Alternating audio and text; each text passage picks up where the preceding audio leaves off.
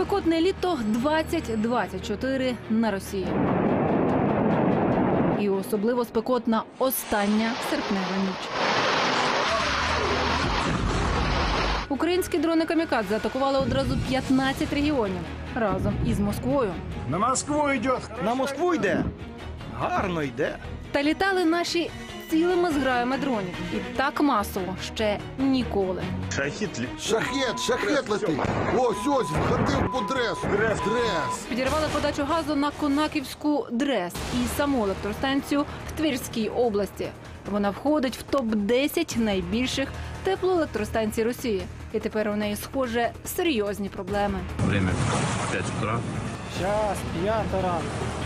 Упала. Опа-опа. А ось і третій жахнув.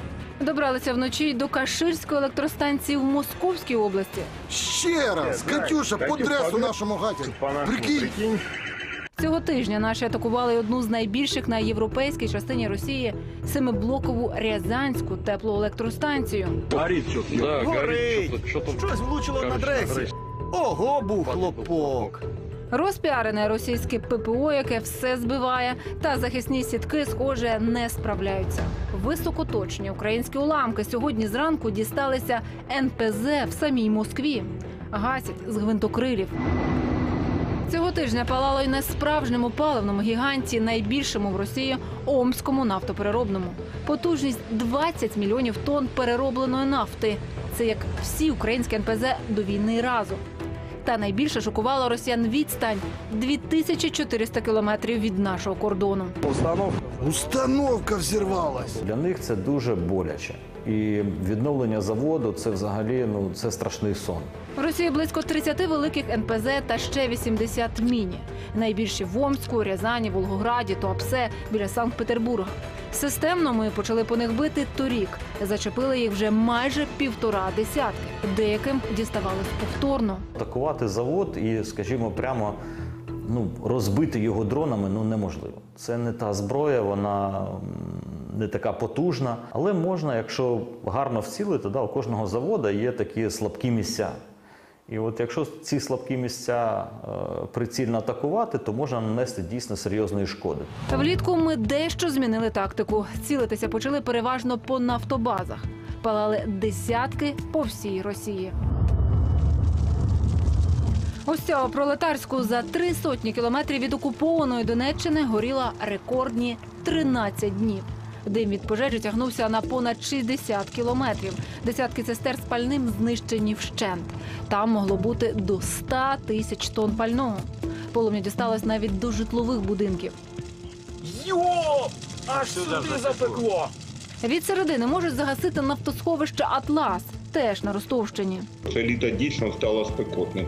Але головне, ми маємо розуміти про те, що температура по- підтримується постійно, бо без паливно-мастильних матеріалів жоден танк не поїде. Нафта це по суті кров російської оборонки, але ще й і гроші.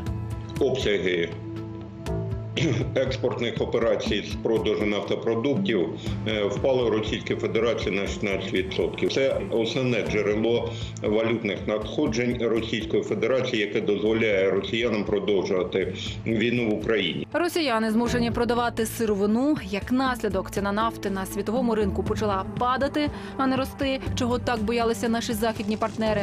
Дефіцит бензину відчуває і російська армія, і цивільні. Ціни ростуть, соціальне навантаження теж. Країна бензоколонка е, прийняла безпрецедентні заходи щодо заборони експорту бензину і дизельного палива. Причому ця заборона приймалася вже двічі. Причому, якщо раніше наші дрони летіли лише на кілька сот кілометрів, то нині для них не проблема тисячі. Перший рекорд дальності взяли 9 травня. Наш дрон дістався нафтопереробного заводу у Башкирії.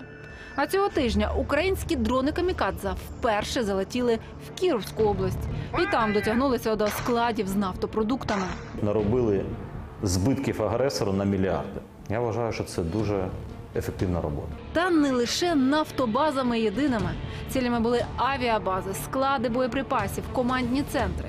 Наприкінці серпня ми втопили в морі навіть паром з пальним. У РФ немає дня, щоб щось не вибухало та не палало, і ця ефективність виросте ще, поки наші західні партнери ніяк не наважуються дозволити нам бити їх зброю по законних військових цілях на Росії. За справу може взятися наша паляниця. Це новий наш метод відплати, і знаємо, що Росії буде дуже складно навіть вимовити, що саме прилетіло. Паляниця це українське ноу-хау. Розробили за півтора роки. Основні характеристики засекречені. Відомо, що вона оснащена турбореактивним двигуном. Швидкість паляниці за різними оцінками ну там досягає до 800 кілометрів. Тактика є технічні характеристики, дають можливість успішно подолати російську систему ППО. По суті, це ракета-дрон. Головні цілі військові аеродроми. До двох десятків вона з легкістю здатна дотягнутися. А враховуючи ще анонсовану розробку української балістичної ракети, кількість влучань у військові об'єкти в глибокому російському тилу буде збільшуватися з геометричною прогресією.